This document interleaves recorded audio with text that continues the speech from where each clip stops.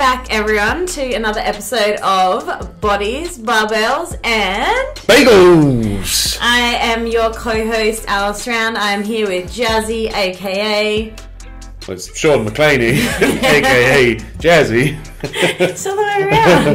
because I literally never get called my name. Does anyone call you Jazzy besides me? I don't think so. I think like half of your mates call me Shawnee.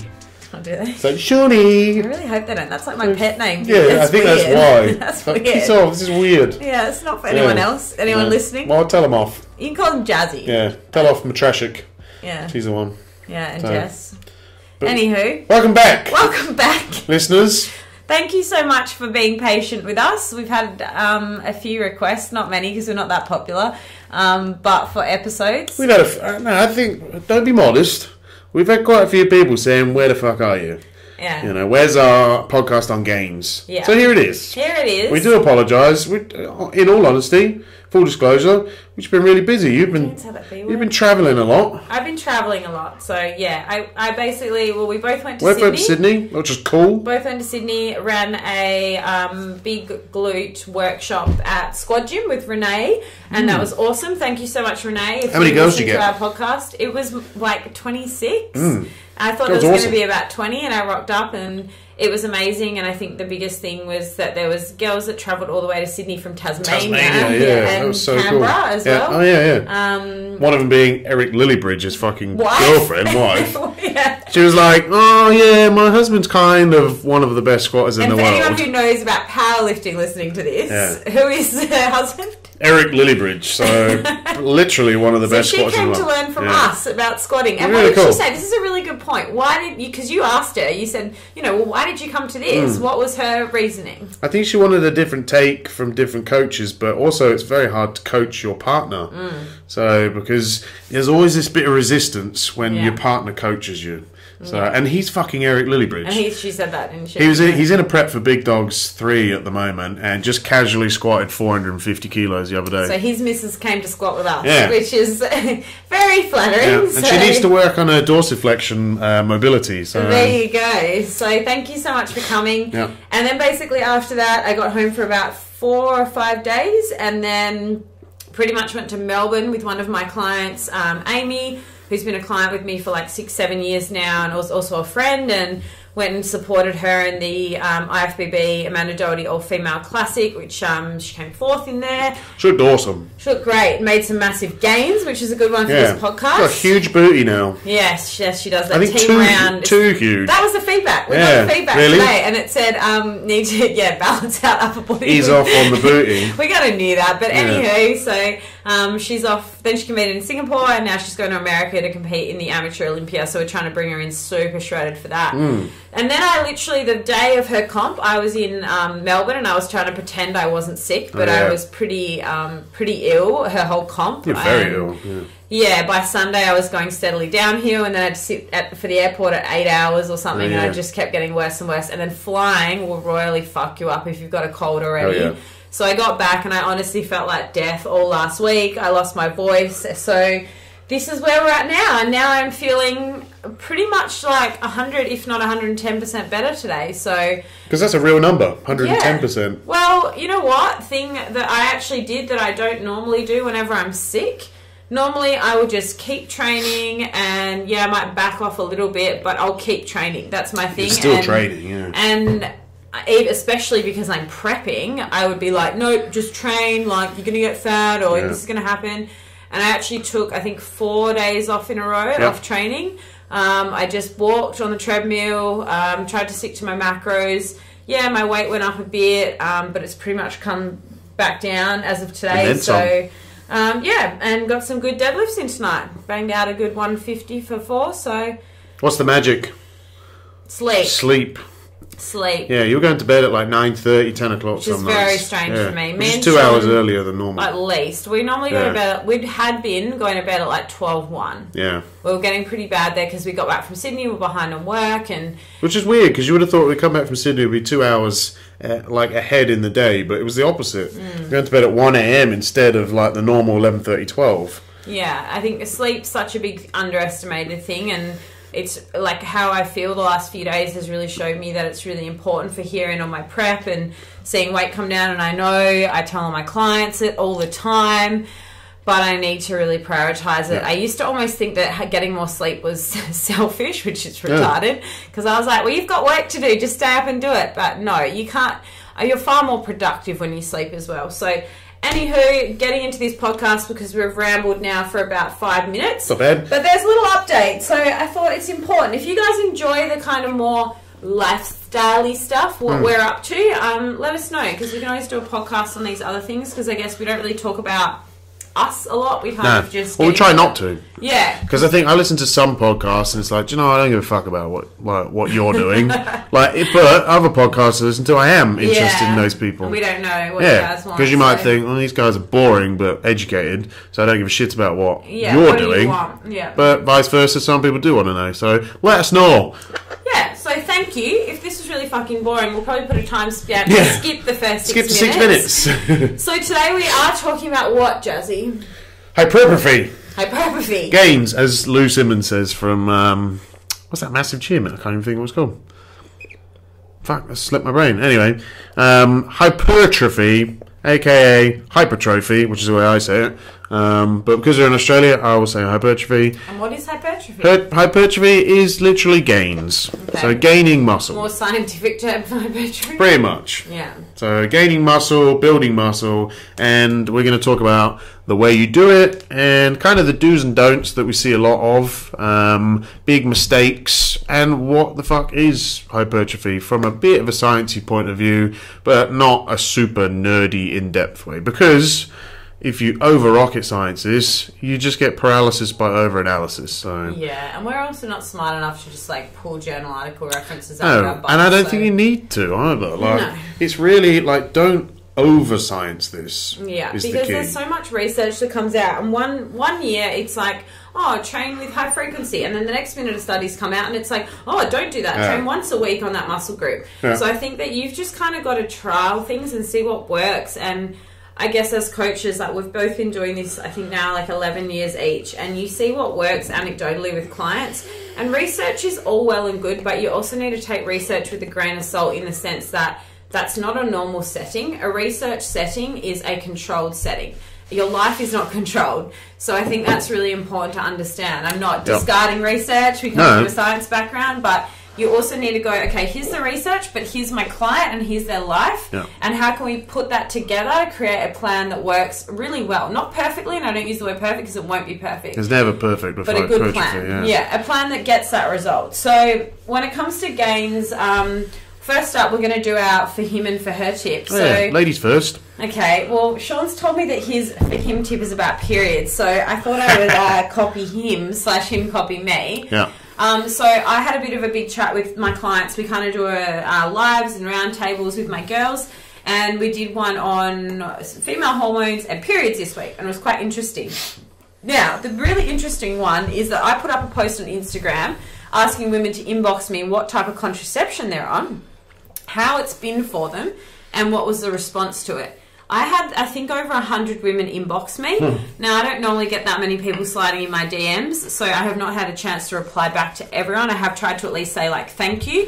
Um, but we are going to do a podcast fully on that in the future once we do enough research that we're comfortable talking about it. Because we know a bit, but we really need to go. I want to speak to some doctors. I want to really make sure that what the information that we're giving is not just like, oh, yeah, we just Googled it and, like, Yeah. here. Like, it's not it's such a big topic. But the biggest thing that I want to say to females is if you are having menstrual issues, so you're having super heavy periods, really bad cramps, over bleeding, um, heavier cycles than what you normally do, um, and you are on any form of birth control, or even if you're not, it's a really good idea to go and get some blood work done. That is Yep. my number one Go see your doctor. if you're having those issues, that's not normal. I think that's the thing. Sometimes Hmm. you normalize it and you're like, oh, it's just a bad period. It's like, but if every period is that bad, like there's something probably going on. You've probably got an imbalance of estrogen and progesterone. Yeah. Um, and it really needs to be checked. Now, my other big thing touching on this, and again, I don't want to go into too much depth now because we will do a full podcast on it.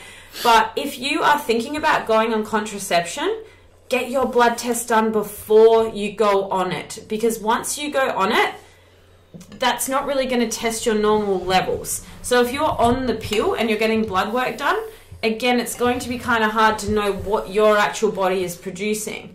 So it's going to tell you where your hormones are at on on on your contraception. What I'm trying to say is just don't just go jump on something. And I really regret that. I went on Yeah. the pill when I was 16 and I regret that because the doctor never even questioned me as a 16 year old. It's a social norm, isn't it? Oh, he just went, oh yeah, go for it. It's Yeah. like ethically, shouldn't he be maybe been like, hey, let's check why you're not getting Yeah. your period? Because as a 16 year old, I wasn't getting, no, 17, I think, I wasn't getting a normal menstrual cycle. I was getting it like once every six months. Um, it was very light and why? Exactly. And this is the problem.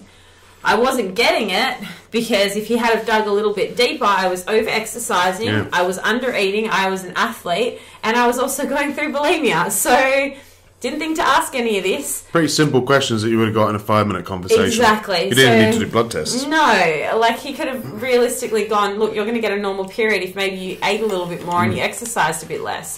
So anyway, I just think that's my tip is ladies, your hormones are so fucking sensitive that you don't want to fuck them up by but just going on some contraception because it can mess you up. And then when you come off it, it can take a while to get back to normal levels. Um, that's what I found. I came off the pill. I was on it for like four, four or five years. I came off it for competing, and then I lost my period for two and a half years. So uh, probably the last I've had mine pretty consistently since I've known Sean. Yeah. So about three years now.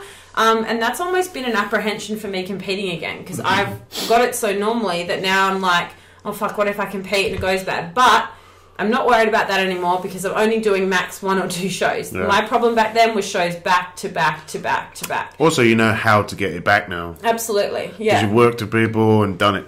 Oh yeah, and it's easy to get it back. Yeah, Yeah. it's just the stupidity is long term dieting is going to Yeah. do it. Okay, so that was a long winded tip for Not really. females, but you go. So it's pretty much don't suffer in silence. Yeah, and get and be smart. Yeah. Use science. Don't just go. Oh yeah, the doctor said just go on this. Like do your research, get some blood tests done, and learn why you're feeling that way. Yeah. Well, leading on for that, my tip for him is be nice to your woman during her monthly. What do you call your monthly? And Menzies. Your menses. Yeah, we had this before, didn't we? And uh, I did some rather vulgar The ones. blob. The blob, yeah. Um, be nice to your woman. Treat her like a queen that week. Don't hound her for sex and BJs, you know, as much as you want to. Because it's that week where you can't have her, so it's like, oh, you get a bit, you know. Yeah, but then there's some sickos out there that have period like sex. Can't really say sickos, Sex. you know, because like half of our listeners might be into that.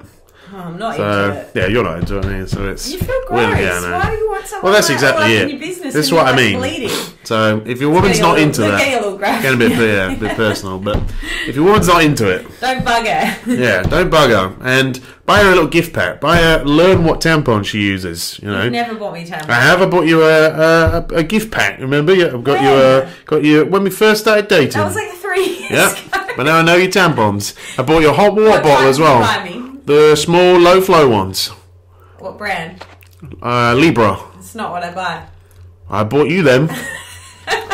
At Didn't least you got- complain. at least you got me the right size. You Exactly. got small. Yeah. Imagine you got me like the super. A wide, yeah, heavy flow and a wide Nothing set wrong if vagina. That's what Uh, you need. But treat a woman like a queen in that in It's that like way. buying men a small condom. Like you just don't do it. Unless you need one of those, but Yeah, but you don't do it as a woman. no, you just wouldn't. buy you an, just you, him a large. you buy him an extra large, Yeah. a Trojan, Yeah. just so you're like, oh, oh I didn't the same with a girl. You buy her a small. It's Yeah. you know. Yeah, exactly. Even if she's had a, a couple of kids, She has it's to put two in tight. there. Yeah. exactly. Two or three. It's gonna be a really offensive podcast.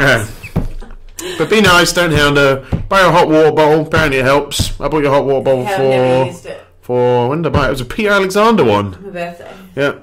So, but you don't really get excessively bad periods. I don't. I'm pretty lucky. Very- I've had period pain maybe like three times in my whole life. Wow. And that's because I don't have high estrogen. Um, No. So it's definitely a sign if you've got the really severe periods that your estrogen, maybe a little more estrogen dominant. Um, but yeah, I'm pretty lucky. But my mum has aren't. really bad, so can't be genetic then. Yeah. So Yeah, um, yeah, I think that it's really interesting that you say that someone that's crazy high testosterone and you know generally annoying in the boudoir. So um, I think it's really nice though. I think maybe because Sean's a coach of females, he understands them a little better. I think Yeah. a lot of guys don't respect that it's it's not enjoyable for us to have our periods. Like No. we don't want it. So like, why make us feel can't get bad? angry at- yeah, exactly. Yeah, You exactly. feel bad. Yeah. I think talking to all my clients because I like to talk to them, see when they've got that monthly, so we can like change your training and And whatever. you can like have a step back when you're Yeah. training them, not get two hands in Yeah. a week. Yeah. yeah, exactly. So don't squat quite as much. And what's that horrible cup thing that? Ah. Yeah, maybe don't squat when you're wearing one of those cups. Yeah, I know. Look, you know what? Like, I've never tried one, so I'm not going to judge it. Yeah. Because I'm sure there's some listeners. Give us a tell. Tell us if you've tried. Those Tell you. Don't No, tell I had me. a few people inbox, inbox Sean on Instagram and tell him your experience with those menstrual cups. Nice. Um, I just No have, photos. I just have heard that they can fall out when you deadlift, so I'm Yeah. never using them. Yeah, that um, make squats. Next yeah. squats, yeah. So anyway, we've talked about periods now for about, and it's probably guys tuning into this episode because Yeah. they're interested in Gains. gains, and we've just No, talked about periods. periods. Right, Um, moving okay. on. All right, let's get into it. So why don't you first up explain how you actually build muscle? What scientifically actually goes on within your body? Let's talk about the three different types of hypertrophy. In my opinion, it's more two, but th- we'll go through the three that they always bring up. So we've got mechanical tension, which is literally progressively overloading, putting more weight on the bar. Um, for me, that's the king. Um, so think about um, every week you want to either add one more rep or you want to add a little bit more weight to the bar. Um, they say that the sweet spot with mechanical tension is about 90% of your one rep max. Um, so it's going to be sort of that between four and eight reps for most people. If you're a beginner and a newbie, it's actually safer to go a little bit less. So you're talking like five to ten to twelve reps. Uh, but that's mechanical tension. That's a big one. Um, second one is metabolic stress. So basically chasing the pump, the juicy pump that Arnold Schwarzenegger um, always talks about, um, which is basically faster tempo, pump up muscle, slightly higher reps, more sets, um, drop sets, all those sorts of fancy things.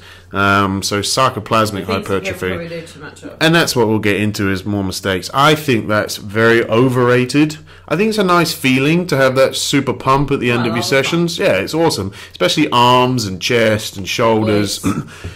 Yeah, glutes, I suppose. I don't really like a glute pump. Oh, that's my favourite. Is it? Yeah. I mean, you are a female, so you're all Even about Brett that. Contreras loves a glute. Does he? Oh, yeah. That's why he's a glute guy. Calls them his pumper sets. Oh, yeah, he does the pump frog um, Yeah, and even just like really high rep like abductions, like 100 Yeah. reps, that sort of thing. time and a place. I think um, uh, metabolic stress very good for that mind muscle connection, um, and it's just a nice feeling to get that pump. But they say in terms of sarcoplasmic, it's where I think second second to least. I think the least important is the last one, which is muscle damage, um, which Time is detention. time and detention basically. So people doing like four or five second eccentrics because the eccentric phase is very important but there's also a lot of research into fast eccentrics now so if you squat you, i mean control it all the way down but a two second eccentric is fine Yeah. Like when I utilize an eccentric with a client, I generally don't think in the back of my head, all gains. Yeah. I think It's control. this is going to help you with control and Yeah. power and speed. Using the right muscle. just doing good technique. Yeah. which comes back to mechanical tension really Yeah. doing it properly so extended ranges of motion so holding it in the stretch um, yeah overreaching in terms of yeah, I'd say that's pretty low. It's and it, it is the le- I think it's the least important and and kind of one you can think about a lot less like the slow burn by Fred Hahn for example super slow East eccentric I fucking hate YouTube, it oh. slow bird. Slow Burn by Fred Hahn, yeah, and watch, read the comments as well because it's pretty much Alan Aragon, Brad Schoenfeld, Menno Henselmans, um, Lyle McDonald all trolling him.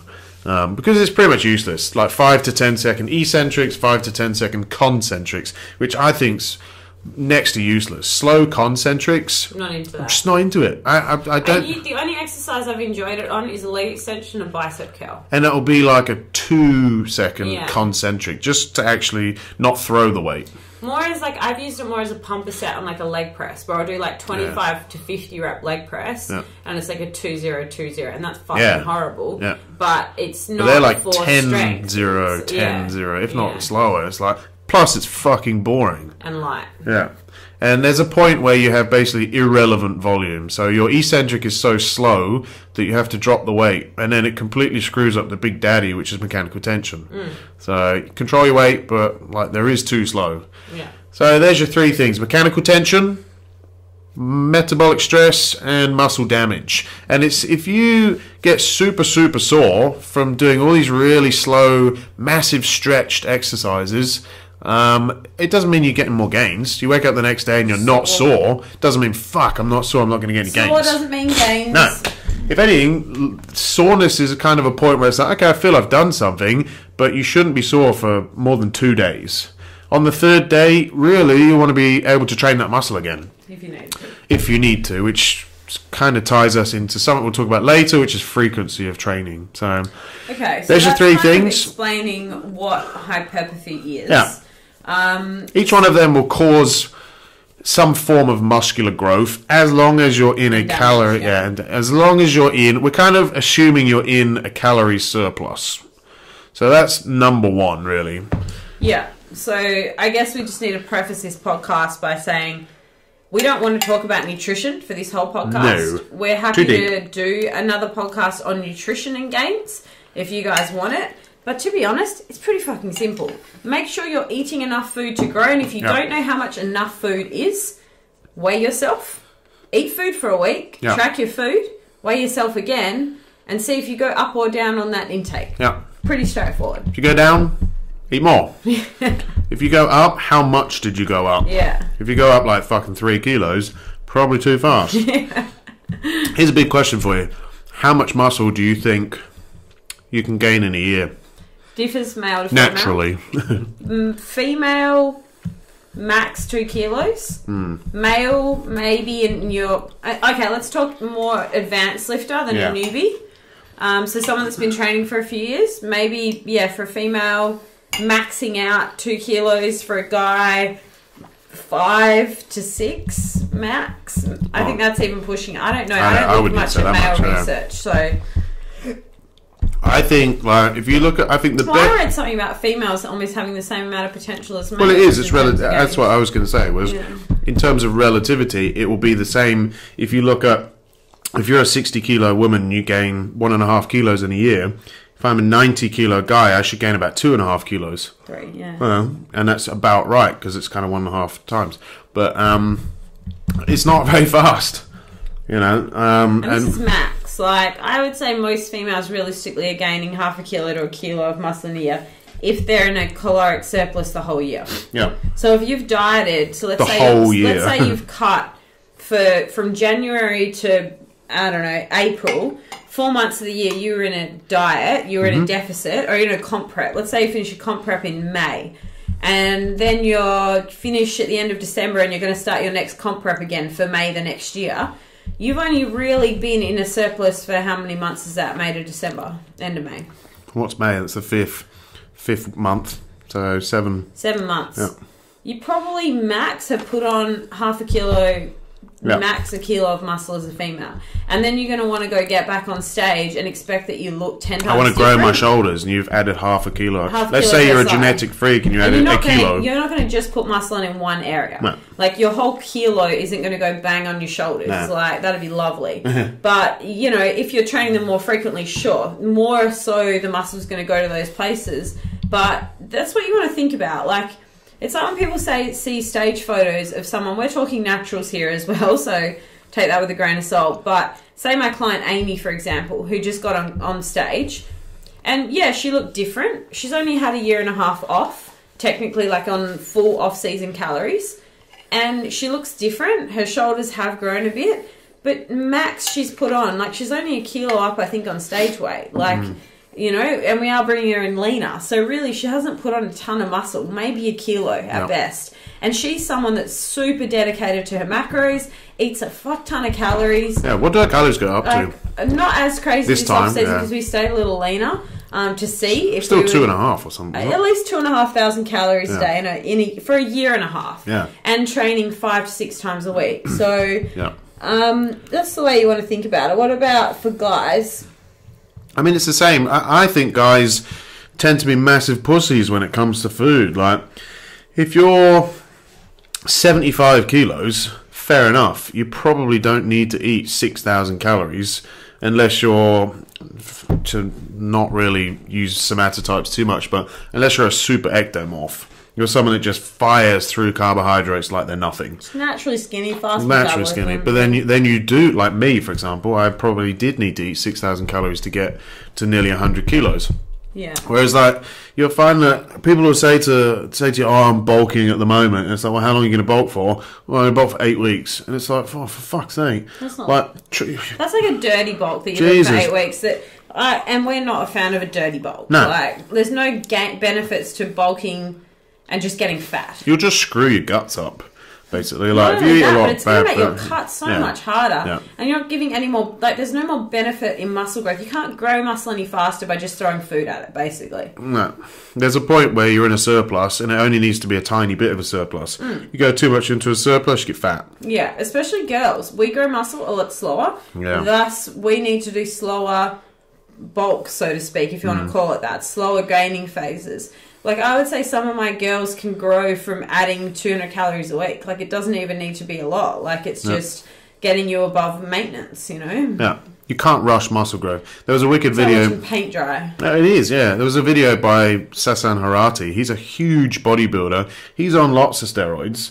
Um, and and he still says it's super slow. You can't rush muscle growth. Like this guy's pumping everything under the sun. Yeah. Who are still who are genetically gifted. Um, they're still growing. They're in the early stages of training, and they may gain five, six kilos of muscle On- a year on- on, all this steroids and stuff Yeah. like that. Yeah, they might gain it every single year. So you think about that in five years, they could be 20, 30 kilos bigger. But that's with everything. Yeah. You know, so if you think that you're going to take some branch chains and some creatine, and you're eating two to three thousand calories, then no chance. Yeah, or girls that are so scared. Oh my god, I'm gonna get big. Like Ugh. it took like me a lot of time to put on muscle, and now I'm kind of like, no, I don't. I four years off. Yeah, So yeah, I mean, you've gained a lot of muscle, but it I- took oh, you four be- years to it'll get be there. interesting how much is left when I'm Yeah. down. You know, I, I think so. I think Yeah. you'll have a lot. Very well, we different saw that on a Dexa. yeah, Yeah, but regardless, all you have to do is look at get a kilo of chicken breast in one of those trays from Coles. That's a that's a shit. If you look at that, that's muscle. Chicken breast is muscle, obviously, Mm. and you stick that on your go slap it on your chin. Go slap it on your boobies, yeah, slap it on your delt, slap it on your bicep. That kilo will go a long way. So imagine if you you gain two kilos, which doesn't sound like a lot, but if you gain two kilos every year for three years, that's six kilos. Put six kilos of chicken on your body. You can be a motherfucker of a tank yeah, after that. So, but that's the thing is, you were in a surplus for a fair few years. yeah. I wasn't I- really tracking. I think, like in terms of male mistakes, there's there's two. Let's get into it. Let's get into it. Yeah, male mistakes. I think being too lean and being addicted to having veins and abs. Oh, abs is the big one. Abs is a big one. The amount Yeah, of emails that I get from girls. Oh, I want to grow my glutes, but I also want abs. Well, Well, yeah. fucking pick one. kind of one. Yeah, kind Stay of in both of those. lane. Yeah, there's guys in the gym. Like, there's nothing wrong with this, but if you've got veins in your abs and you're super shredded and you're natural, um, you're probably too lean to grow a decent amount of muscle because you're probably in a deficit. yeah, and what happens within your body when you're really lean? Your testosterone down regulates like a motherfucker. Same with girls. Yeah, same with girls as well, which is sh- even shitter because your testosterone is low as it is in comparison. I think we're about 20 times more on the testosterone scale Yeah. than you. Uh, I think mine's 40 times more. But um, judging by libido. Hey! But um, yeah, if you're super, super lean all year round and you're like, oh, I'm not growing, you're probably too lean. So you're not in. There is a sweet spot. Like we always roughly say that it's about 10% with a guy. 10 to 12, up to 15%. Talking Dexa. T- talking Dex, uh, right, when 15. when you look at someone and you think you have abs, but you're not like gnarly, grainy, vascular. It's like when someone comes off stage and they're like, I know I do. I get off stage and I'm like, fuck, I like the way I look at the moment. I've got some veins in my quads and I've got, I can see my glutes and stuff like that. And it is a bit addictive. So you think, I'm going to hold this for ages and slowly add calories and blah, blah, blah. And it's like, those four months that you're reversing, you've done it so slow because you're addicted to that look. Mm. That you've just wasted four months of still being in a deficit, and it probably took me four or five months to get out of a deficit because it was summer, you know. And then all of a sudden it was like, okay, summer's gone. I'm going to bump my calories up a thousand or whatever Yeah, over the on budget. Yeah, I'm on the budget as well, but um, Way, way to drop body fat. Put yourself on a budget. but yeah, exactly. If you want to cut and get lean. Um, but yeah, and then all of a sudden it's like, okay, well, I want to grow some muscle now. I need to get out of a deficit. I'm going to lose some of my abs, but that's the opposite end of it. Is you should always have the remnants, a tiny bit of abs there. That kind of more often than not with guys, this is. You should just be able to see your abs. If you can't see your abs, you've probably pushed it too high because then estrogen comes up as well. Your fat comes up. If your estrogen comes up, it's basically going to cock block you you know. But having your calories up closer to that twelve percent uh, means your testosterone is going to be firing. Testosterone is going to be good. Your thyroid's going to be good, um, and you're in a sweet spot for growth. Yeah. So, what are common mistakes? Number one for females. Uh, not eating enough. I would say. Obviously, we already Definitely, yeah. that. But I, I think, yeah, eating too much too fast. In on the contrary of that, I think not tracking. I think is a big Yeah. one. I think a lot of girls kind of go, "Oh, well, I'm trying to build muscle, so I'm not dieting it." Because I think a lot of girls, this is very generalization, but even guys think that you only need to track when you're dieting. You only need to track calories or macros or follow a meal plan when you're in a deficit. To be honest, well, not more important, but I think it's just as important to track in the off season, but you can be a little bit more relaxed with your tracking in the sense of guesstimating minus, foods, yeah. a bit more intuitive with things. Um, at, but you still need to have some form of quantification because a, lo- a lot of girls will undereat or overeat, over, overeat, overweight. overeat, and then you gain Stay fat, away from wheat. You gain fat too fast, and you're just building, putting fat on. Yeah. Um, yeah, guilty of doing that in the past. like, completely. Um, Post show, all that sort of stuff, where I've just kind of gone, oh, whatever. I'm in America. I'm going to eat what I want. Come back six kilos enough, heavier. though. That's not America's six kilos. awesome. Oh, no regrets. But come back with six kilos on you. It's not six kilos of muscle. It's No. probably 200 grams of muscle and 5.8 kilos of fat. Um, maybe some fluid, but. I think that's probably the biggest mistake girls make, but we don't want to harp on about nutrition. So I'd say the other biggest mistake that girls make is they don't focus on training heavy. Yep. Um, they're scared that there's a misconception that the heavy weights are going to make you look like a man for some reason more than a lightweight, which I don't understand. I've never understood. Um, but then again, I thinking back to when I first went in the gym, I would read in magazines. Yep, it's 12 to 15 reps for toning and it's uh, 4 to 6 reps for strength. And I was Chasing like, that tone. well, I don't need strength, so I'm going to chase the toning reps, which we know is a load of fucking bullshit now. Um, so yeah, I think don't be scared to train heavy because you want to think about what the main thing is that builds muscle. Hmm. And like Sean said before, it's increasing intensity Yep. and volume, and the best Mechanical way to do that, mechanical tension, progressive overload. Add more weight to the bar. Um, I had patient. A few, yeah, I had a few people ask me like lately, actually, like why are you still doing like squats and deadlifts and like progressing your weights when you're prepping for a show? And it's like, well, same thing goes when you're in a comp prep. If you want to retain muscle, Mm-hmm. then you still need to train heavy. I'm when I used to train for IFBB, I didn't care about losing muscle as much. But now, and my weight would go down in a comp prep. Like every week, I'd lose a kilo. Whereas now, my weight isn't changing that much, but I'm getting leaner, which means Yeah. I'm more than likely holding onto muscle and I'm training very differently to how I used to train coming into a show. Um, so definitely not being scared to get strong. Yeah. Go in. Not only will that help you train and keep you motivated, but will help you build muscle. Um, so keep a training diary. Write down what weights you're doing. The next week, go in, aim to beat them, aim to add more weight to the bar as a female.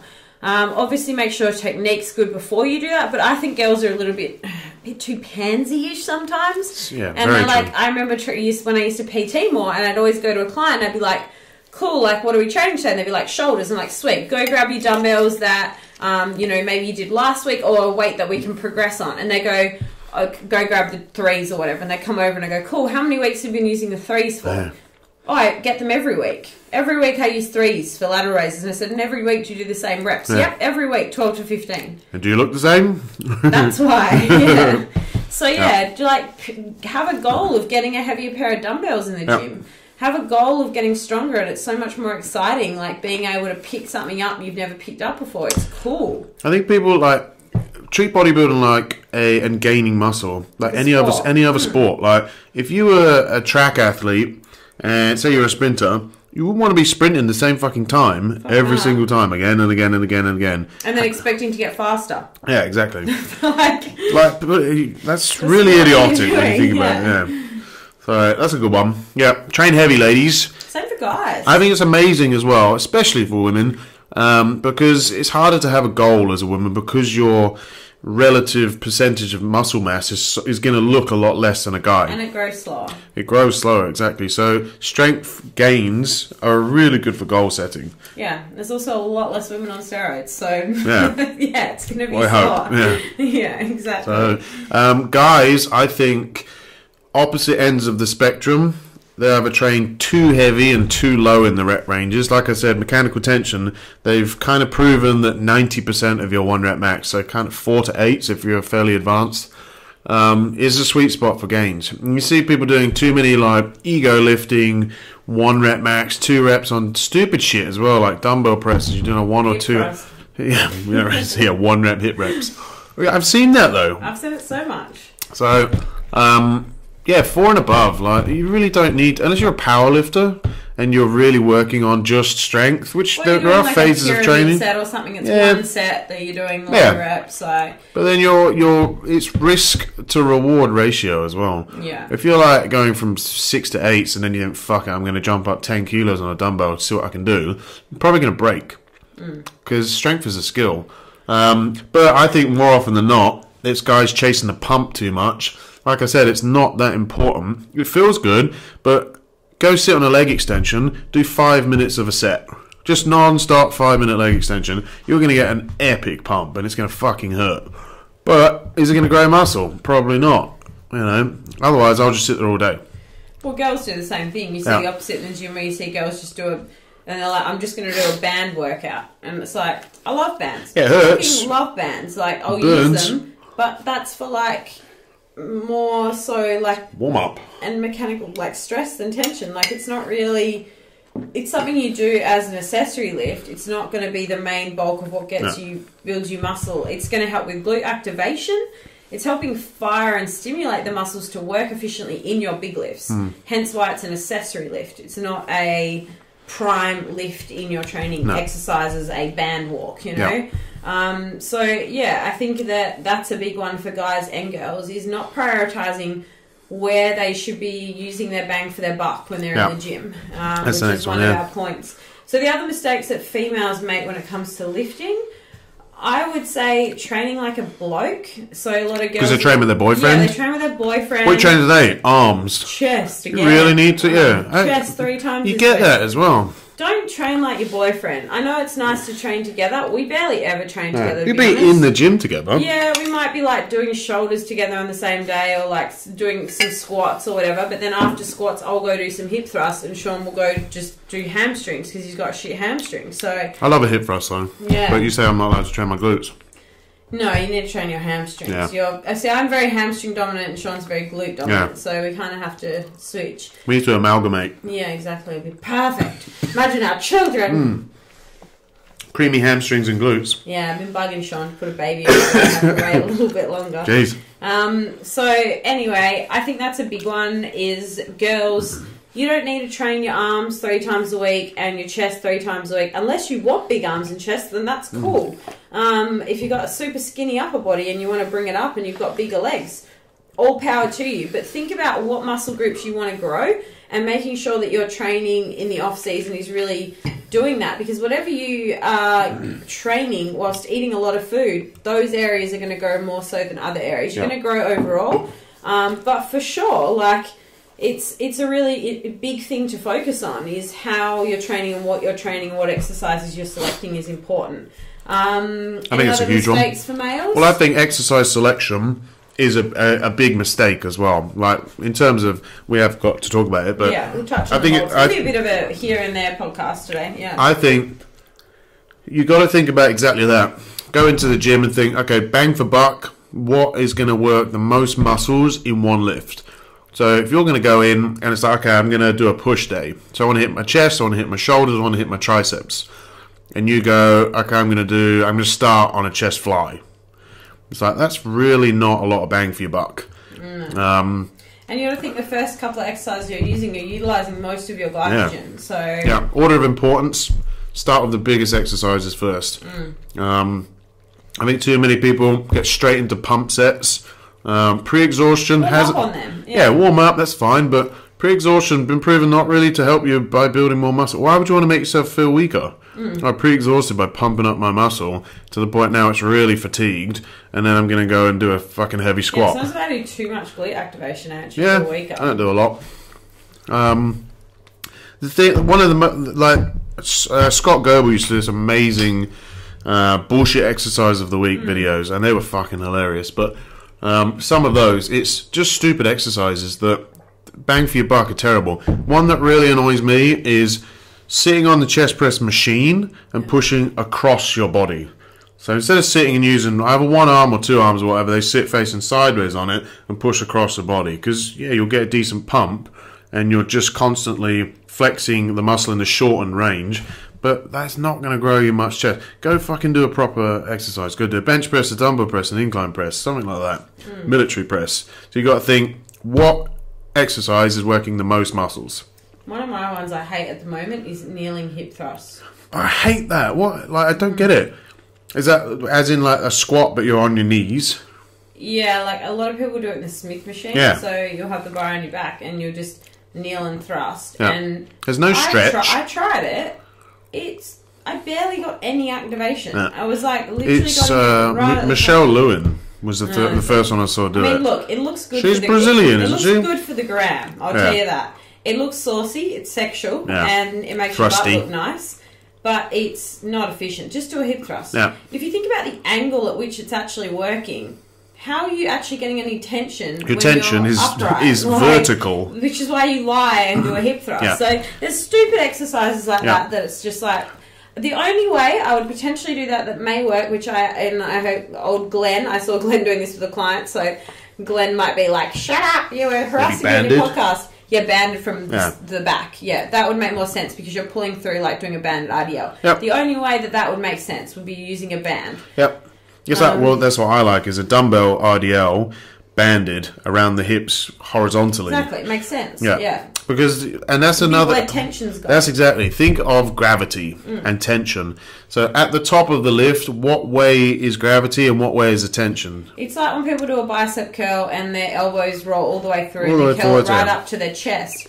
It's like you don't need to go that far. There's no tension with the dumbbell. There's no tension. The Yeah. tension's gone. So when you are training and you're training for muscle growth in particular, you kind of need to understand biomechanics and, maths. gravity as well. Biomechanics, physics, Physics. and maths. Yeah, and people think, oh, it's so easy to be a coach. It's like to actually write good online programs, the amount of time that it takes us to write a customized training Yeah. program, solid three or four hours, where you're sitting there thinking about the angles, thinking about the tension, thinking about how you explain this to a client, That person's body. that person's body, how they move. Um, it, there's just so much more to it. But I think at the same time, that means don't overcomplicate exercises. The basics are there for a reason because they work.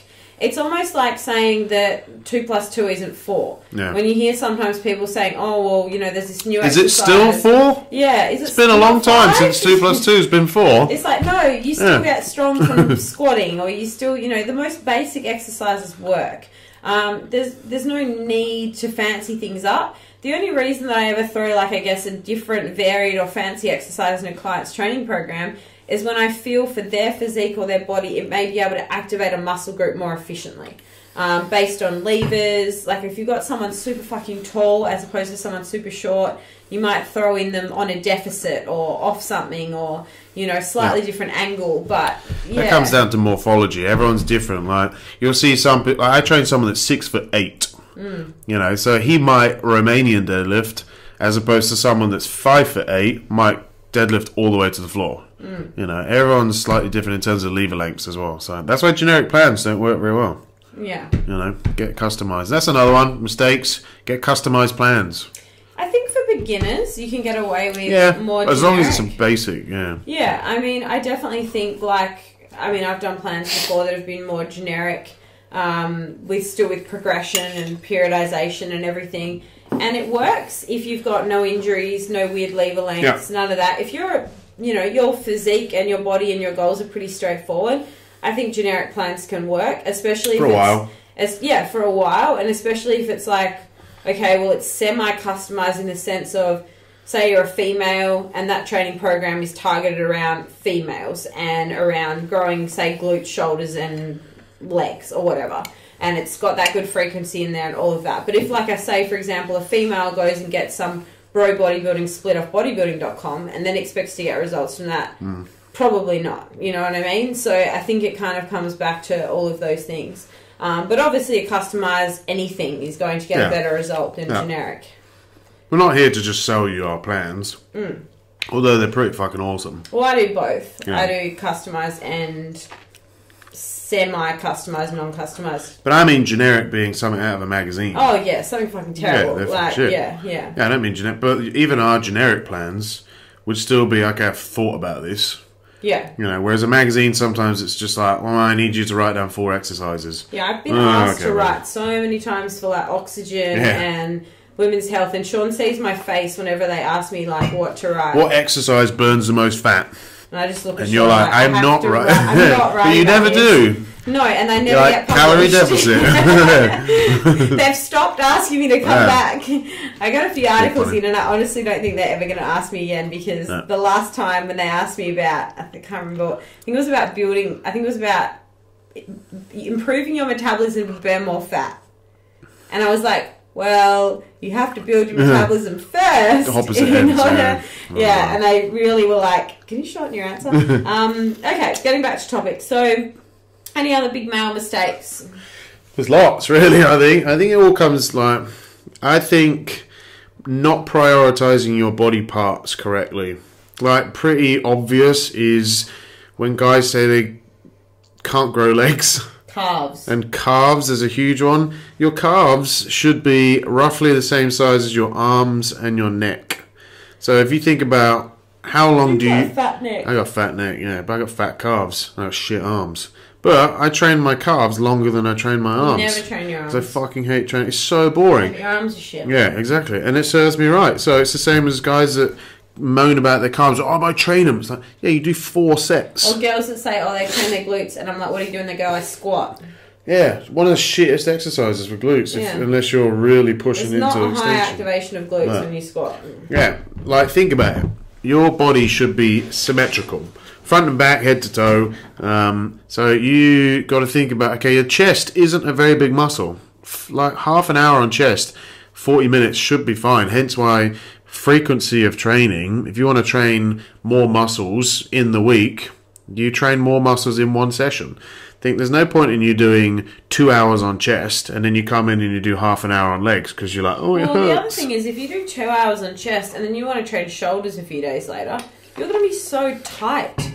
Yeah. How can you actually recover? Because I found also same with like training back and training hamstrings. Yeah. If I smash my back and then I go to train hammies Hmm. and I go to deadlift, RDL, hold weights, my back's gassed Really and I can't do it. Yeah. So you've got to kind of be really smart in how you structure things throughout the week. Yeah. Um, okay, so let's get into some bigger ones. So the first one is um, a bit of a tip of where do you start? So let's say you've got a beginner in the gym as opposed to someone who's been training for four or five years. Yeah. Um, now, in terms of gains, it's going to be very different in terms of how they approach their training. So, what advice would you give for a beginner as opposed to someone more advanced in Ab- terms of like exercise selection? absolute beginner would be you're kind of in a really cool zone where you can pretty much grow doing anything. Yeah. But you want to maximize your time in the gym. And again, bang for your buck exercises. When you first also start, what you want to grow the most. what you want to grow the most. If you're nice and even, I actually really like starting people on full body sessions. I think full body is still very overrated, but you don't need to smash them into the ground. Just think, okay, I'm going to train my full body three times a week. Um, so think I'll probably be training this again in two or three days, so I don't want to train so much I'm going to get super sore. But as a newbie, you don't need to train that much. You don't need to train that hard, that heavy. You will just grow. Yeah. Um, or split the body into an upper and a lower. Yeah. Something really, really simple. Keep it simple because your growth is going to be simple to start with. Yeah, and I would say really simple exercises, straight sets, Yeah. um, you know, moderate rep ranges. Yeah. You don't need to go super heavy. You don't need to go super high rep. Yep. Well, mechanical tension being number one, they, they again they come back to that ninety percent of your one rep max. Your one rep max is going to be pretty shit at the moment. Mm. So even if you're doing four to eight reps, it's not going to be that heavy. Mm. Don't look at what everyone else is lifting. And I think the most important thing for beginners is focus on technique because if your technique That's number shit one. and you've got bad posture when you train, and as soon as you just keep adding more weight, you're just going to get not only injured, but you're going to have a physique that reflects poor posture. Yeah. So what I mean by that is I see so many girls and even guys that come to me and they're like, you know, it's a chick and she's like, oh, I can't grow my shoulders. It's the most common one you get. And then you look at how they stand and they're so internally rotated. They've got terrible posture. They can't Yeah. even pull their shoulders back. You're on the phone all the time. how are you desk job. overhead press? Yeah. Like, you know, it's and then they're like, oh, I get bursitis too, and I'm like, well, I'm not surprised. Yeah, like, because your you know, shoulders pointing forwards in its socket. The only reason you get bursitis and overuse injuries are because of generally poor either patterns in the gym or patterns in your day to day life, or both, probably. You go to the gym for how long? Yeah. 45 minutes, and you sit at your desk and you're on your phone for how long? Mm. Yeah. Hours and hours Well, and the hours. one time I hurt my neck lifting was overhead pressing. Yeah. And can you imagine if I was like, oh, it was the overhead press that did it? That day, I my I have a big iMac at home, and I try to work on that mostly because it sits up higher than a, um, my MacBook. And my big iMac was broken. Remember, Kira was fixing it, Oh, yeah. and um, I was working on my laptop all day. and It was a Monday, so it was check-in day. I reckon I worked for about twelve hours Yeah. straight with my neck down. Then straight away went to overhead press, and like that's how I hurt my neck. It wasn't the overhead press; it was the fact that I'd been in a poor posture for most of the day, Yeah. and something that my body wasn't used to. And then I just tried to throw some load on. Um, well, it's like I had um, someone fly over from. Was it Sydney? Mm. Yeah, she came over from Sydney. Obviously, not just for me, but thank you. Um, and yeah, her, she's got a desk job, so just standing there, you can see her humerus is pointing forwards in her socket. So every time she shoulder pressed, her hand was always in front of her elbow. So, and I, you can you can guess. You can say, I bet you get a pinching in your shoulder. Oh yeah, how the fuck did you know that? And that that would be ninety percent of people who have desk jobs. Yeah. Um, so fix your form, number posture. one. Yeah, I even think that's advanced lifters. Yeah. If uh, what is an advanced lifter? Oh, I've been lifting for four years. Oh, you're lifting Well, well. you lifting well, yeah. We, tra- we train a lot of trainers, and we still fix their technique. I would say if you're talking now, let's talk advanced lifting Mm. in the sense of someone that has good form, trains pretty well, um, has been following some form of progression, they're not injured. Then what would They're they be lucky. doing differently to a beginner? Then we're looking at okay, well, one you might be doing too much in a session. Some people do that. Um, sometimes you can regress things um, to make things progress. Um, and even if you've been lifting for years and years and years, some people are afraid of going even heavier. You know, um, number one for building muscle is volume. Are they doing enough volume? I think a lot of people can be they get obsessed with oh, I want to put more on the bar, but then they drop the reps down and down and down and down and down. It's like there's still that sweet spot of rep ranges. You know, it's that ninety percent of one rep max. Um, and just checking out, okay, how long are you training for? Um, Number one, are you eating enough? Yeah. I think that's the thing. Like most people have been lifting for years, but not eating enough for years. Yeah. So, but when you you when you're advanced, yeah, it does get a lot harder. You do have to think. Okay, I need to sit down, write out what my plans are. Um, if something's not working, why is it not working? I also do think though, like once you're more advanced and you've already got a bit of muscle on you, sometimes it actually becomes a bit easier. Like I found for me, my body just keeps growing and growing and growing the last few Lucky years. you. but I think it's because, well, number one, I was in deficits for like four years before that, Yeah. so I didn't allow my body to even have a chance to grow since the age of about sixteen. Um, but I also think it's the fact that you put on muscle.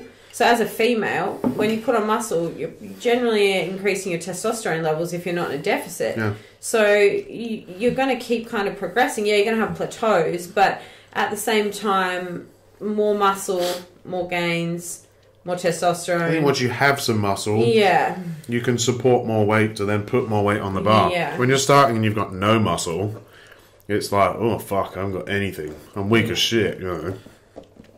So, um, never Yeah. been weak. never been weak. No, never. I've seen you do a pretty nasty 80 kilo squat. Oh, my squats have always been terrible. I've always been able to push out a fair bit of a deadlift, but I will try to find a video of me deadlifting 110 from like six years ago with the biggest rounding in my back you've ever Yeah. seen. Like it was horrendous. Where was it? At an old gym I used to work at that I don't really want to mention or give notice to on this Because remember, we were at a specific gym and like everyone was hitting PBs. And it was Oh, not like, that gym. not that gym, okay. Their, that gym's weights were very wrong. Oh yeah, there's definitely a gym in. Perth hmm. that their weights. Remember, I repped out like an 80 kilo bench. And we Yeah, were like, you did like 10 "Oh, reps." Yeah, we're like, this is easy. I did 10 on 10 on 70, 70, on a bench. yeah. I swear it was 60. Like the weights were wrong. Yeah. yeah. But anyway, we're going way off topic Hmm. now. Um, that's a good way to boost your ego. Go to a gym where their weights are wrong. Weights are shit, yeah. Yeah, because there was probably four weights on the bar, and if each weight was out by like two and a half kilos, like it all adds up. Yeah, well, I, I was prepping a guy up in uh, Broome, and he was just using generic gym weights. When he came down here and used the calibrated weights for his powerlifting comp, didn't hit any of his lifts because, and then he went home and weighed it. Went home and weighed it, and it was like seven and a half kilos out on his squat. He's supposed to do 180. I think he ended up doing like 172 or something like that. So that's a big fucking difference. Um, what else? Um, what's your views on frequency? Oh, I don't know if I want to get into This is a one, 'cause I big one, but we've been going on for fifty odd minutes, so Yeah, if we'll we start go- wrapping it up. Let's wrap because we can talk about this for Well, fucking okay. ages. There has been so much. I'm not, and I'll put my hand up and say I'm not the person that goes and reads 50 journal articles a day. I read some. I read more like meta analysis, or I read things that people that I respect in the industry post. Yeah. So if you know Helms puts up a post and it's saying this study's come out, I'll go look at that study. Helms and Menno and Schoenfeld. are Um, Exactly. I'm not the person that's going to go trolling through for research No. myself unless there's something specific I want to learn about. Um, that being said, like when we went to the Menno seminar, he's put out a lot of research about higher frequency training. Same with Brett Contreras. Um, so I've always really enjoyed that school of thought, and I've liked the research that's come out. But then, who's the guy that um, I've forgotten his name that Jackson likes? That was just at the seminar he was at. Israetel? Yeah, Mike Israetel um, has now. He's a funny motherfucker. well, there's well. research coming out that he's putting out about low frequency Mm. and about how it's more efficient to just annihilate one muscle group a week. Yeah. So it's it's hard to say. I would say I have to base this on the research I've read as well as anecdotally what's worked for me and my clients. And I would say, especially for females, higher frequency. The reason I say especially for females is females recover better than males. Freakishly So, faster. A lot faster. We have a lot better lactic acid clearance. Yep. Um, so that's a big part of it. And we recover better. So we can handle training legs three or four times a week, whereas a guy just can't do that. Um, so I would say if you're wanting to grow a muscle group, train that muscle group more frequently, but look at your total volume for the entire week. That's a big so, one. What you I mean, yeah, don't do a whole session, two to three times. yeah, Divide it. So what I'll tend to do is, let's say I really want to grow my butt, and everyone wants to grow their butt, all the females listening, is look at how many sets total and how much total volume you're doing for the week on your glutes. Yeah. So that might mean on one day a week you're training glutes and hamstrings, and you do, let's say, 10 sets on glutes that day, and then the other day you're doing glutes and quads, and you do another 10 sets. That's 20. And then you might have another day where you're just doing like some lighter, like pump work on the glutes, and you just do five sets.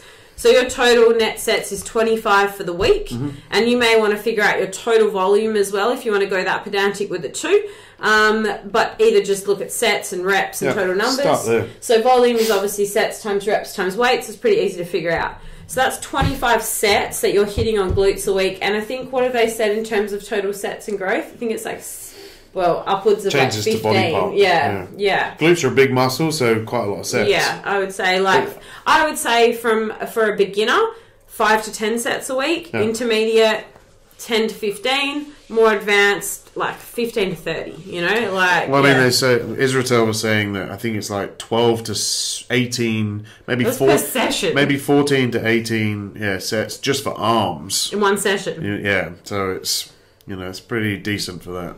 So you can go fairly high. but I mean you've done 10, 10 and five over three sessions. So say you don't have the luxury of training three times a week for glutes, and you've only got two.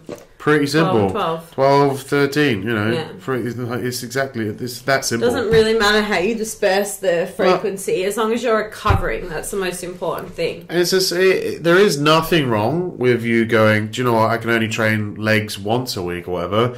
All right. Pussy. Yeah, if you're a pussy and it's not that important to you, then you are going to blitz those legs in one big nasty session, and it's going most guys will do that. To Yeah. be honest, like I've programmed still for you guys, and most of my guys, if they are bo- um, like men's physique or bodybuilding, and they've already got decent legs.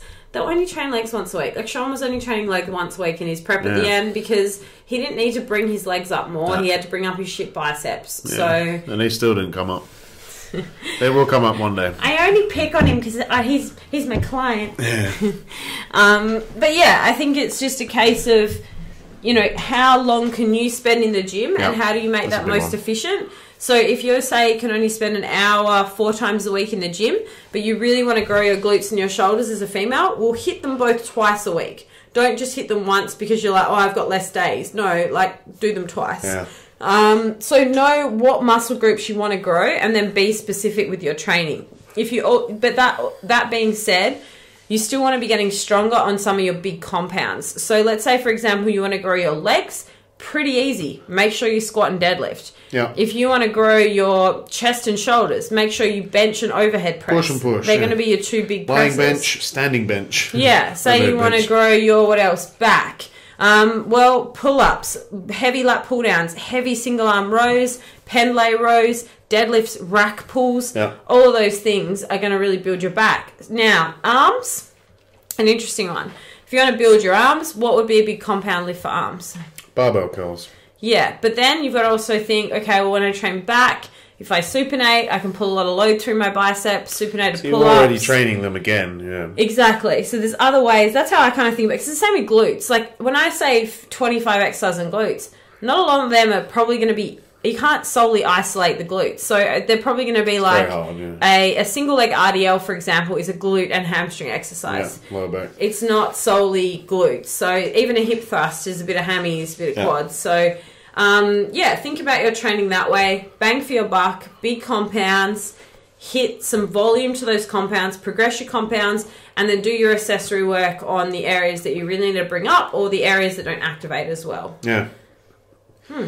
I'd say a really good thing to do, even if you're an advanced lifter or a, a newbie, is take photos, have a look at your body, like constructively, critically, Naked? and, th- and, and naked, cry? of course, yeah, yeah, and cry. Tears help. Um, and think, what do I actually need to bring up? And then think, look at your program and think, well, shit, um, what's the volume that I'm doing on that specific muscle? I mean, I had someone email me the other day and they sent me their plan, and their arm volume was redonkulous. Like, it was like 30 sets per arm session for two arm sessions a week. Yet their back session, which is a massive muscle, they were probably doing 16 sets once Yeah. a week. And it's like, and that person doesn't have a huge back. So fair enough. If your back's huge and it's a strong point and everything needs to come up to it, then that is not something that you need to bring up. Yeah. But have a look at it, deconstruct your own plans, and think, okay, I need to hit that a little bit harder, so or more frequently. Yeah. Um, I think we can talk about this all night. Um, I Well, let's think go any wrap ups. We've talked exercise selection, we've talked frequency. Let's just touch on injuries because I think a lot of people are worried. Oh, I can't make gains. I'm injured. You're you've gotten injured a lot more than me, but at the same time, I've had my fair set of injuries over the years.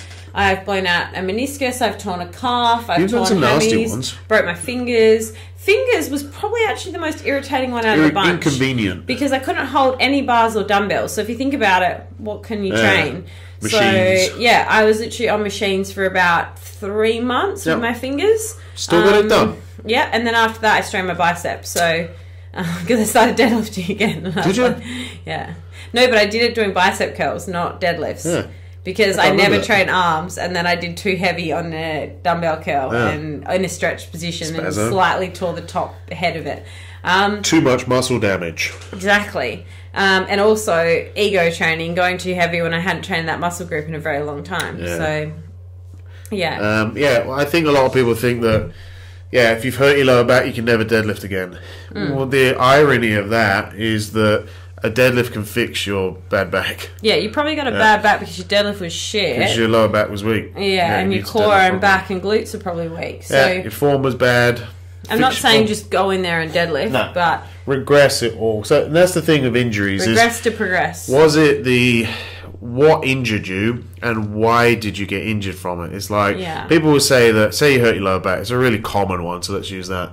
Um, and they'll say, "Oh, a deadlift injured me." And, it's knee like, squatting. I blew up my knee squatting. and it's like, well, was it the deadlift that injured your back, or was it your posture? Was it your terrible technique? Didn't warm up. Didn't warm up properly, all of that sort of stuff. And because of that, the deadlift just pushed you over the edge. Yeah. You, I know people that have hurt their lower back picking a pen up off the floor. Yeah. You know. My um, mum. Oh, really? Poor Janny. Yeah. But so yeah, it's if you're injured, it's a case of go right back to the base of your body. You know, warm up properly, learn how you Be should warm up. patient is a big Yeah, one. and be hugely patient. Like I think I- we're saying this now because we're older and we've done dumb injuries, but Yeah. you see so many young kids in the gym putting way too much weight in a deadlift bar or a squat bar, Yeah. and you just cringe because you're like, you're going to get injured and then you're going to have to go backwards. Yeah. So why not just take, be a bit more patient? there's some nasty deadlifts out there. yeah, it's like you. Oh, I just can't stand an ugly deadlift. Yeah, Like you look like a I dog won't taking put a up a video if I've got like a slight bit of rounding in my That's back. a bad Like, one when, when yeah you see Coaches put stuff coaches up. putting bad deadlifts Oh, up. don't A to B, that's all that counts. Uh, okay. Okay, wait. When your client slips a disc Yeah. and they're in hospital, I'm very happy to say I've never ever had a client injured, un, like under me coaching them with their lower back No. in terms of like a big injury, No. like and it in the gym. tends to be if something does happen, it's like because outside they're of the it's because their job or, or they're training by yeah. themselves and they do something silly. Yeah, Like, that's a huge one. In Yeah. in your session, they train perfectly. Yeah. Next time you see him, you're like, "How are you?" Oh, I hurt my back the other day. It's like, well, stop training like a fucking dickhead. Jesus. is that what you say? yeah, I fucking do. I'm blunt with my clients. Film your sets. If you've got a big compound set, if it's a squat, a bench, a deadlift, whatever, record it. Who So you cares? what you're Who cares if people are watching? Like people, like yes, I put shit on Instagram, but I film some of my big stuff just to see how it looks. Didn't some knobhead walk past you the other day? and said, Oh, you're filming, Yeah, I can't remember. Jake. Yeah, it was Jake. Film him says, Instagram. says Jake, who takes Yeah. a million selfies in the gym. know, yeah. No. But yeah, You're welcome. You watch his story. I know exactly. He's probably listening to this. exactly. That's why I said it. But, uh, yeah, injuries. It, sometimes it's a good wake up call, and it can tell you to regress everything, which will then finally make you progress on something you've been shit at for ages. I, when I blew out my knee squatting, that scared me off squatting for ages. And Yeah, look at your squat now. What? Look at your squat now. Well, remember when Sean met me, I would struggle to hit 100 kilos. Yeah. And I remember You'd like, yeah for one or two. and I was very like apprehensive. I was like, Yeah. oh, I'm gonna hurt myself. Um, but yeah, it's it just the reason that I blew my knee out was I was doing small of squatting every day and I wasn't Yeah. mobilizing properly. too much volume. And, Yeah, too much volume, but I wasn't respecting how much volume. So I was trying to push all this volume on my body, but then not go, okay, well, if you're training legs every day, mobilize. Make sure you're doing a cool down. I wasn't cooling down, that was the issue. Yeah. I would still warm up. And this is probably an important point to touch on. If you're going to put a shit ton of volume through a muscle group, you need to cool down. And I'm uh, guilty, is probably one of the things I need to work on more. But often I will actually leave the gym and do some at home. Sean sees me, I do it usually when I do cardio. Um, I'll sit and have a stretch afterwards because I find like my muscles are warm and it's kind of a good time to do it. And it's away from weight training. So if you're going to do passive stretching, which still has a massive place in this whole scheme, do it away from weights. Um, but it has The a lot of that. benefits. Yeah, so many benefits. yeah. Well, I wake up in the morning. I always wake up tight as fuck. Yeah. So it's you wake up in the morning, cup, and three yeah, because I'm old. Yeah. Um, and just stretch. If you've got the luxury of two to three, four, five minutes of the day. It doesn't need you can much. stretch a muscle group. Like if I'm sat at my desk Might just be a all day, I might something. just stretch my glutes. I'd Yeah. literally just whack one leg on the other leg and stretch my glutes. Yeah, like you don't need to spend hours on Helps. this. Yeah, I think that's really helped actually doing some little things like that. When you go and see a chiro or a physio, they'll say to you, you need to do this exercise three times a day. yeah. And it's like, well, and they're like, oh, fuck, I don't have time to do that. It's like, you have five minutes three times a day. Mm. You know, otherwise you're going to get injured again and again and again. It's like when people say they don't have time to do gratitude once a day, and it's like Yeah. you don't have five seconds to think about something you're Yeah. grateful for. Yeah, there's a lot you got you problems. Yeah. Fucking hell. Jesus. But yeah, I think that's a big one. Is like if you don't want to get injured, you want to add volume, respect that. It's almost like getting your car serviced. Like you can't continue to run a vehicle and not have it serviced or not put petrol in it and expect it to work as efficiently and not have problems. Basically, um, I think one of the biggest things that I keep in my brain is people chase um, hypertrophy too much when they should be chasing recovery. Hmm. You know, you're not gonna, you're not growing in the gym. So just think like um, you're not trying to smash yourself into the ground. You do enough in the gym to create a stimulus, then go home and recover. yeah. Eat, So- stretch. Well, that was the other thing I was going to say. The other variables that affect muscle growth Yeah. are stress, Yeah. sleep. Sleep Sleep's is a huge. massive one. All that growth hormone. Yeah, Better yeah. you sleep, more growth hormone. Natural So- steroids. That's a big one for guys if you're not sleeping, if you're stressed.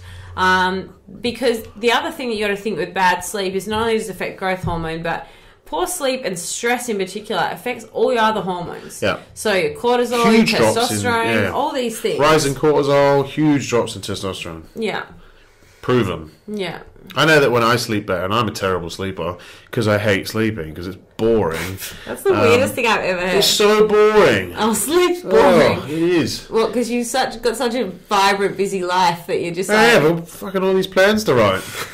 Um, got puppies to play with. exactly. So much stuff to do. Um, if I could take a pill and not have to sleep, I would. It's boring, I love but I'd be recovered, you know. But I know. Tell us, do you guys enjoy sleep or not? I, I fucking love oh, sleep. Oh, most people do. I just don't.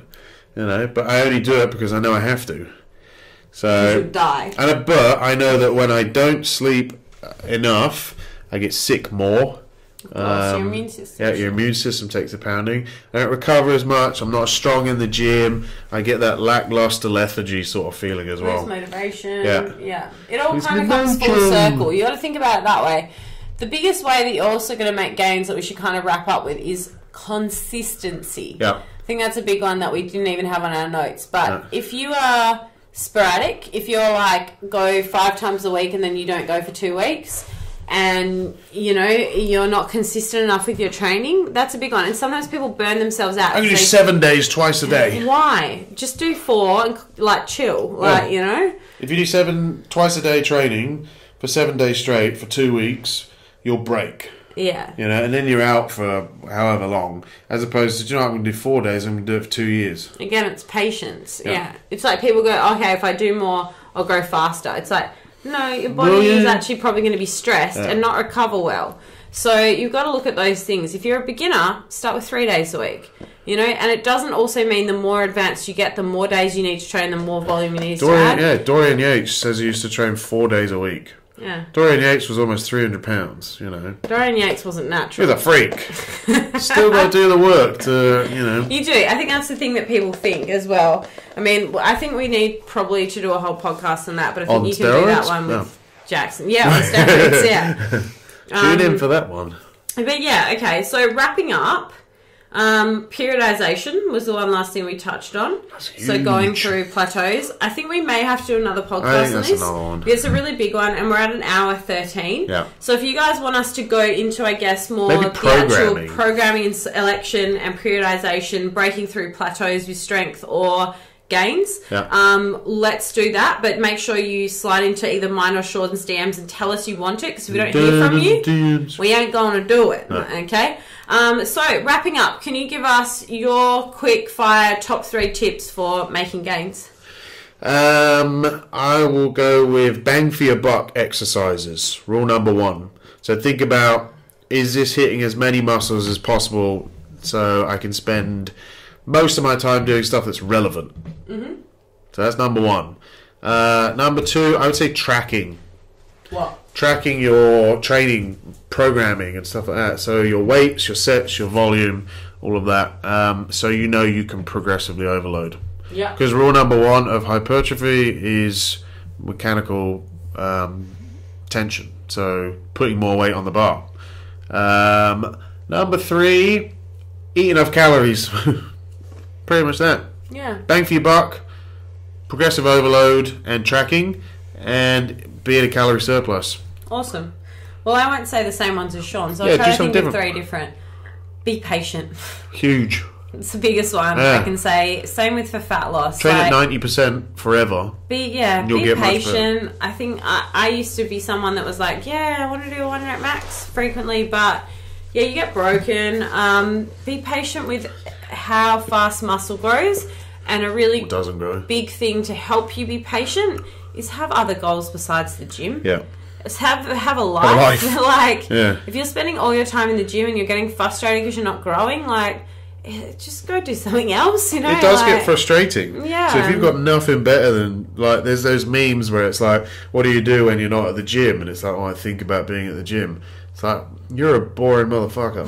You know. it's like if you have a life other than that, you'll feel better. You'll be less stressed. You'll probably grow more. Yeah, put less pressure on yourself. Exactly. So I think yeah, be be really patient with it. It takes time, unfortunately, but at the same time, patience and consistency going hand in hand. Because if you get impatient, then you become inconsistent.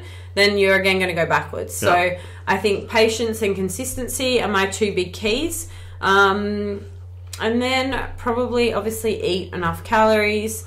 Uh, what's another big one? I would say is probably aim to get stronger, which is similar to what you Yeah. were saying with tracking. But go Even in as a there girl, with- even as a female. absolutely, even more so as a female, go Yeah. in there with a goal of getting stronger, and you can't really fail. And probably the other big one is make sure that you are hitting the muscle groups you actually want to grow. If you Yeah. want to grow in certain areas, which I think is more specific for females, guys are like, I just want to get big overall.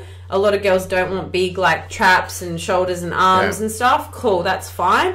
Well, then don't train them like your boyfriend trains them. Like, Do you know what's funny is right. when you see, in my opinion, is when you see chicks doing shrugs. Ugh.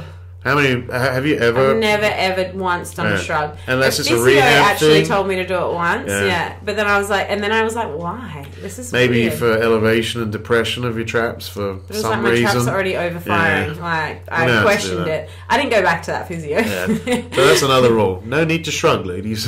Shrugs, fucking side bends, like oh, some of my most an Oly lifter. Oly lifters would probably do a good old shrug. Shrug. Yeah, Because yeah, yeah. you've got like the snatch pulls. Yeah, So yeah. but if I- you're trying to grow, yeah. shrugs. Unless you want meaty traps. Get them traps. Sure, some people are into traps. Yeah. I don't You know how many traps. compliments I get on my traps from blokes? Yeah. Not so much from girls. They're nice traps. They're meaty. I don't think they're freaky or over over the top. Look, they help me hold a barbell on my back. Exactly. Yeah, so you know I should be a CrossFitter. Less pain. but you A know, bar on bone. if I CrossFitted, hurts. they would be like up around my ears. Yeah. Yeah, that would hurt. Anyway, um, but yeah, I think there are our last tips: patience, consistency, eat enough calories, bang for your buck exercises, and track what you're doing. That's it, Um, man. that's it. So thank you guys for tuning in. Um, if you have any questions, please feel free to send them through either in a DM on Instagram. What is your handle, Jazzy? What's a handle? At Mclaney Train. It's called a handle. yes. Why is it called a handle? It's like your title, your handle. That's weird. You're weird. All right, interesting. Well, my handle I just said it, but at Mclaney Trained, yeah. and I have an Insta story now. Oh yes, this is big news, folks. Yeah, I hit a thousand followers. We got back from Sydney, and I said that he had to pick either YouTube, Instagram story, or getting basically Something kicked out else, of the or an house. athlete page. Yeah, Yeah, so I went for Insta story. yeah. Pretty good so far. I've had up to 700 views um, a couple of days, but tends to hang around five to 600. So content on there, training, nutrition, crock potting. I'm all about my crock pot. That's Crock probably pot. yeah. That's probably the most uh, engagement is through my crock pot recipes. So if you'd odd. like to see some lovely crock pot a nice, recipes, a nice crock. and it also comes with a nice dad joke. So Yeah. yeah, Every be time I do any crocking, there's always a dad joke there, yeah. an innuendo. Um, and of mine, I was going to say, obviously, that sounds a bit arrogant. Um, mine You already know mine. no, you don't. Come follow me. Um, mine is uh, at the Team Round account, um, which is kind of more for my clients. We share a lot of really cool things on there, though, and probably more informative, actually, I'd say, than my page. Um, my page, I share more informative stuff on my Insta story. My content is a little bit more, I don't know what my content is on my page anymore. I guess it's more about me, whereas the Team Round one is more about my clients. Um, so, yeah, that's at Ali Round. And if you need to get in contact with us, we'll pop any details below. But thank you so much for tuning into another episode. Let us know what topics you want to hear on the next ones. We do definitely want to cover a whole one on contraception, menstrual cycles coming up. I'm going to do a lot more research on that over the next coming week, and I might try to even get a doctor on. Endocrinologist. Yeah, that would be yeah. great. So if anyone has any contacts, um, let us know. And then, yeah, that's pretty much it. You want to wrap it up today? Hopefully, you took something out of this, and you're going to gain five kilos in the next month Lovely. because that's how gains works. You're going to end No, it? it's not. Go on, So- give us a nice ending. um, tally ho! See you next time. See ya.